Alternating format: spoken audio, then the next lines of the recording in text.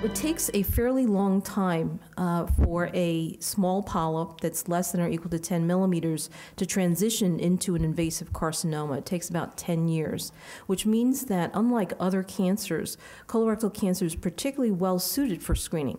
You have that long window of opportunity where you can go in, identify that precursor adenomatous polyp, and then resect it, and then you uh, will never develop the cancer. Now, what's the actual prevalence of these adenomatous uh, polyps? It's probably higher than you think.